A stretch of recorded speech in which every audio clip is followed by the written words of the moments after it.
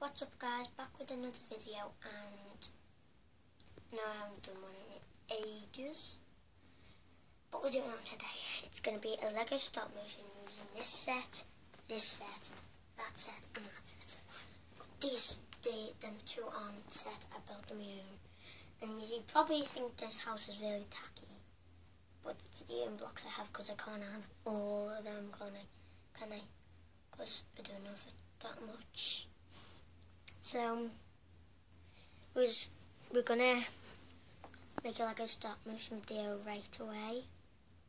As soon as I can set up the characters. I'll show you the characters now. So here's the characters. I call him Jack the River without two heads because I put him on this guy and this guy. So we got the river, two baby pigs, my own figure, my own.